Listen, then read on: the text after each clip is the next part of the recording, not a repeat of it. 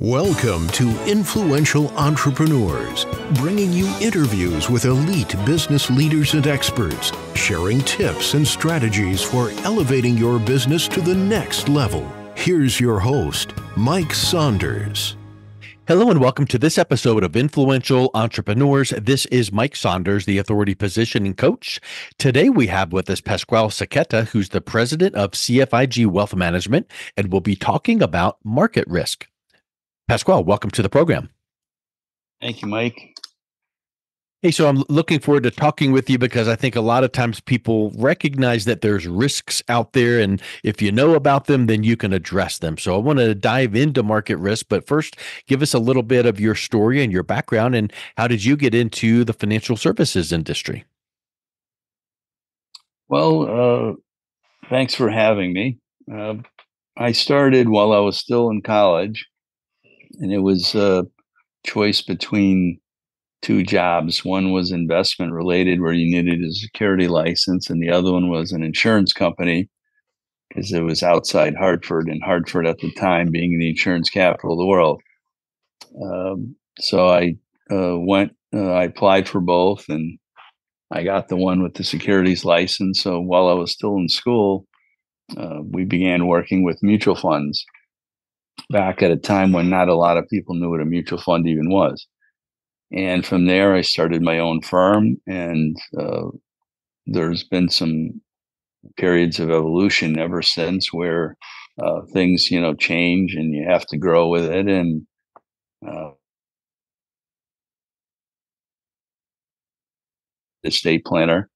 Uh, we have a, a, registered investment advisory firm as well as an insurance agency that uh, that is under our CFIG Wealth Management umbrella, so to speak. And we're completely independent, not affiliated with any bank or insurer, and we completely focus on uh, our clients' long-term planning you know before we dive into you know how to mitigate market risk and what it is and all of that um, something jumped out at me that you just said about independent completely independent. And so i want you to um, go a little bit deeper on that because i think that sometimes people don't realize the full value of that. Whereas i used to be back in the late 90s in the um, mortgage industry. And i know if you worked for where i worked for um, jp morgan chase bank all you could offer is their products. And it was limited. Sometimes you wish you could do a different product, and, but you didn't have it. So, talk a little bit about the flexibility that provides you to your give to your clients being an independent advisor. Well, it's the best example I have really is for clients to understand what true independence means. And a lot of times, uh, financial advisors will use certain words to describe certain things that are just generic in nature. But I use an example. If my client and their IRA would like to own sheep in New Zealand, we can make that happen. and if that's a good investment, then we can make it happen, huh? right. And so it's it's the independence is we we don't have any kind of list um, that tells our advisors, you know, you can only work with these products because we have a deal in the back end or something like that. Uh, we are completely independent. So we can choose any mutual fund we want to work with. We can choose any portfolio we want to work with. But our core portfolio, uh, we manage in house for our clients on a truly independent basis. So our goal is to have the most diversified portfolio with the least amount of risk and volatility with the lowest internal costs. That's what our mm. primary goal is. And our clients benefit other ways by having that kind of independence, namely uh, in the tax area where it becomes very tax advantage to control what you mm-hmm. have. Mm-hmm. And so let's dive other, into a little bit of, oh, go ahead. Uh, uh, what I generally tell people is uh, most financial financial advisors would will claim to be independent if if they don't work in house for a particular firm uh, or or or one firm. But being independent means that you should be able to represent your client and use whatever product or service is available to help them meet their needs. That's what true independence is. So we do not have any kind of proprietary lists or products or anything that would preclude us from using whatever uh, products or services we need to help our clients achieve their goals. And that's what we focus on.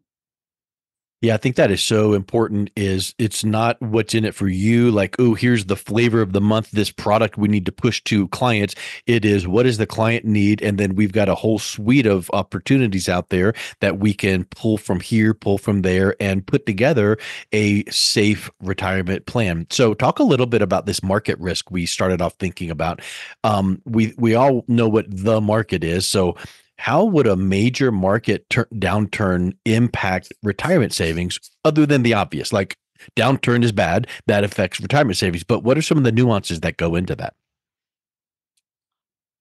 Well uh, warren buffett has a lot of uh, interesting sayings when it comes to uh, market risk and, and how he invests. And everything that he does is primarily for the long term I have never known, nor have I heard or read anywhere that he bought and sold something the same day or, or in a short period of time. Uh, from the beginning of his career, he's been very long term focused.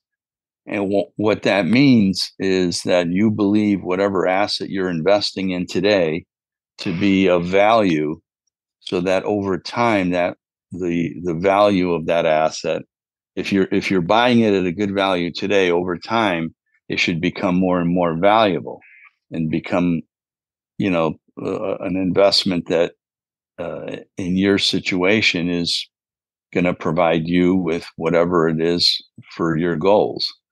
So the the to think about is uh, in a portfolio when you look at market risk in a simplistic basis is you look at whatever price you pay for something.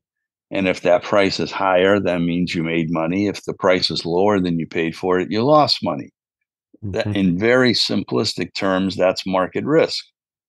The way that it affects people in retirement or, or a person's retirement savings is that if, for example, if you have a million dollars saved for retirement and you have a diversified portfolio, and let's say that it's market oriented so the market goes down 20% now your million dollar retirement portfolio is worth $800000 but the key is not so much that it's worth 800 because hopefully it'll come back to a million and then keep growing there going forward.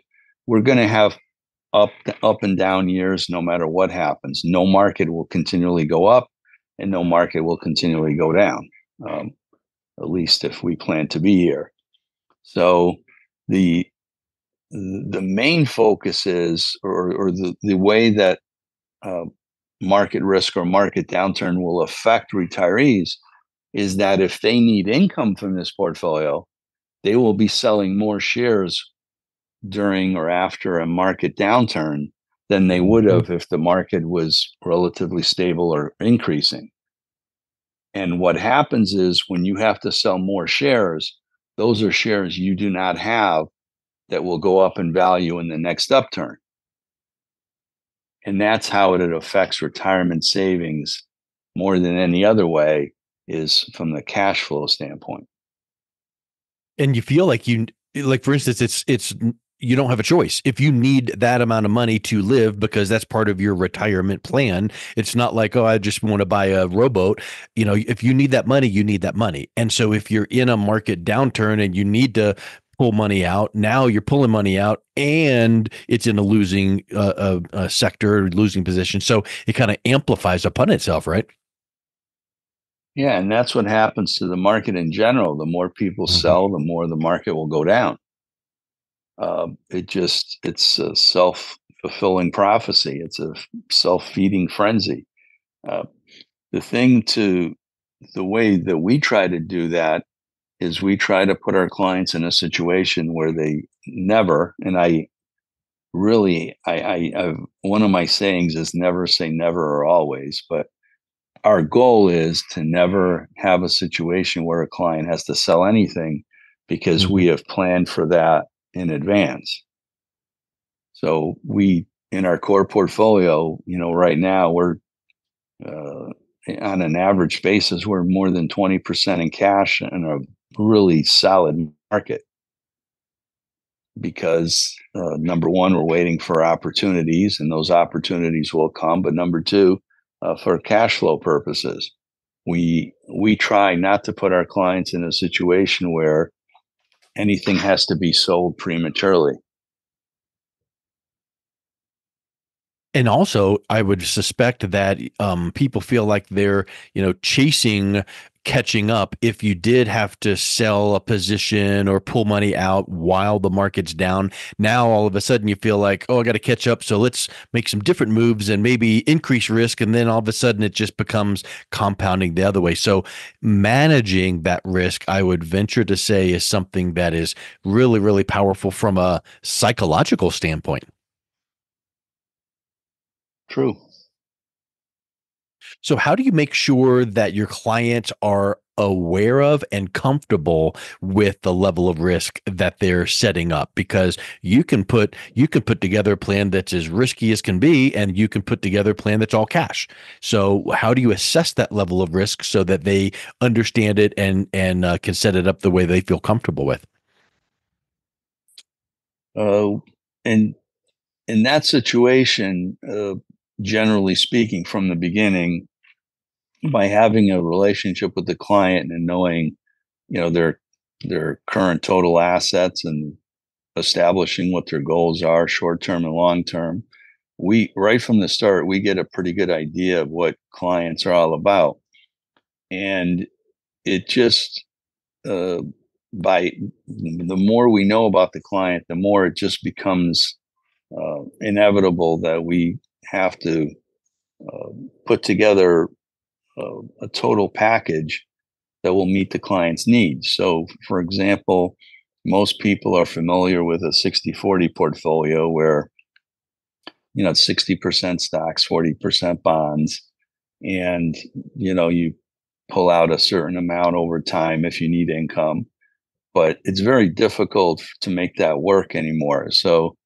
uh, what we do is based on what those clients' goals are, we sort of back in the level of risk that's needed. So if there are certain things that we can do to mitigate the risk, then we can have more of a portfolio that's aggressive.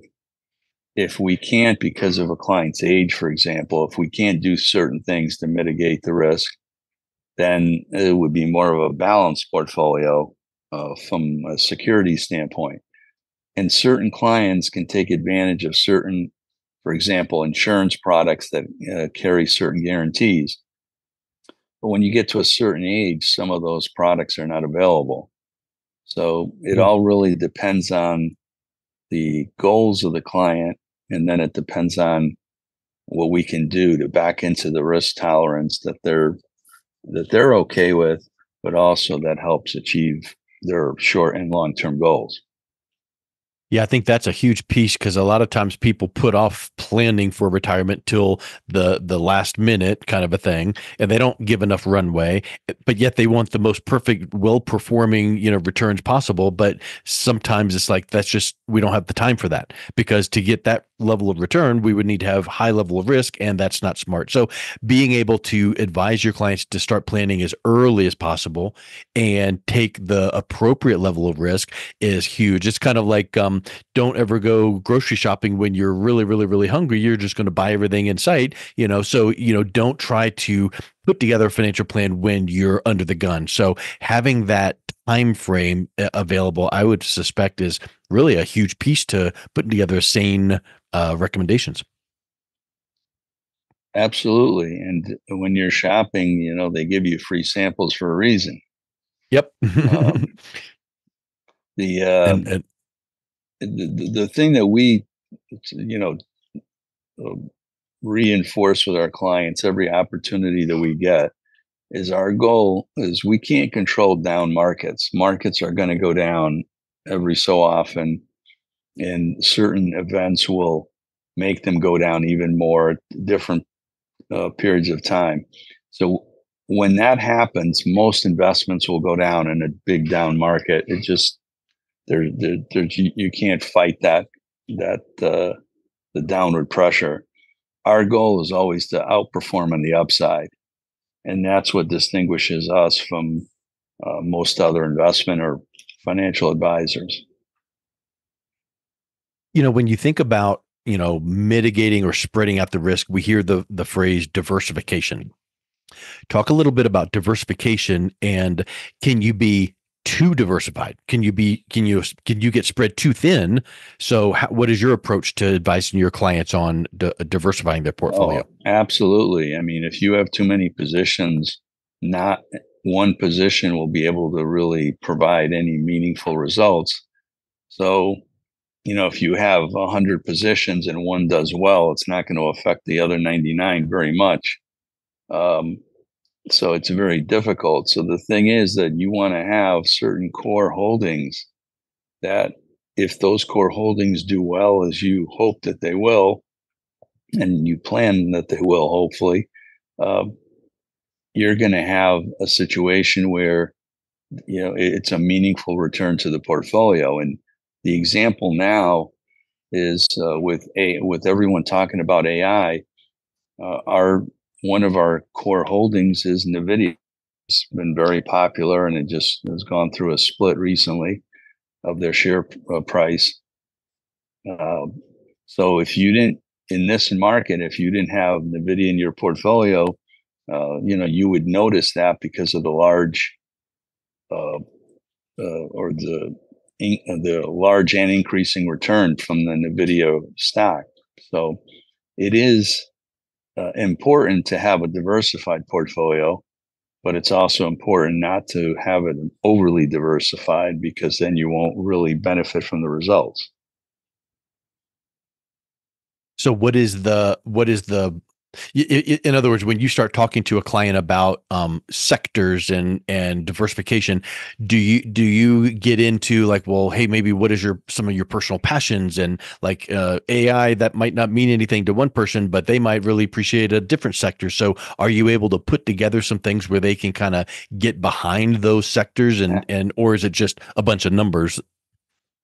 No, actually, most of this kind of information never comes up with clients the focus is usually on their goals and mm-hmm. their cash flow needs or if they're looking to buy something or it's it's really more needs driven than anything. So uh, most of our clients don't care what we invest in as long as we know what we're doing and, and as long as there's not excessive risk or the costs. But we focus on all those things that are important. So the clients know that our goal for our core portfolio is to have the lowest internal costs. Uh, you know, they we we emphasize that so they know that and they understand that. Uh, the because the clients have access to their accounts 24 7 they can see exactly what we hold so that transparency is what clients like it's more so the transparency than having a say in exactly what's owned in that portfolio. They just basically, you know, kind of can see everything come together. They can see how the sausage is made, so to speak. Mm-hmm. Um, and, and, then, do you recommend? Like. Re- do you recommend reviewing like quarterly or annually, or what's the frequency that you would relook at something? Well, that depends on the client. Uh, some it's very frequent. Some it's once a year, maybe like a client dinner once a year. Um, so, you know, and some kind of in between, but there is information being exchanged on a regular basis. So it, the review is not as important as it might otherwise be because, uh, you know, clients are always getting information, especially when it's timely, when they need to know something. So, uh, also we have discretionary authority with our clients. So we can do whatever it is that we believe that's in the best interest of our clients. Um, so I don't I don't go calling clients and say, "Hey, we're thinking about investing in you know GM. What do you think about that?" You know, we we don't ever do anything like that. It's our job to research and to have a buy list, and if we want to take on a position, that we feel is right for the client portfolio, then you know we are we have the authority to do that on behalf of our clients. Yeah, that's really smart. So I think that a, a, lot of these things we've been talking about here really are uh, highlighting the fact that there is risk, but sometimes calculated risk is just fine if it is dialed in the right way for your needs and your retirement needs. So I think so many of these things are are really really helpful to be keeping in mind, and it's not something you can just you know Google and do on your own. So I think that that is uh, something to, to, that clients need to remember as well. So um, if someone is listening to this thinking maybe I need to get a second opinion or a second look at what I'm doing, what's the best way they can learn more and then also reach out and connect with you? Well, our uh, website address is www.cfig-wealth.com and our phone number is 203-221-0200. We're in Westport, Connecticut. Excellent. Well, Pasquale, thank you so much for coming on. It's been a real pleasure talking with you today. You too, Mike. Thank you for your time. You've been listening to Influential Entrepreneurs with Mike Saunders. To learn more about the resources mentioned on today's show or listen to past episodes, visit www.influentialentrepreneursradio.com.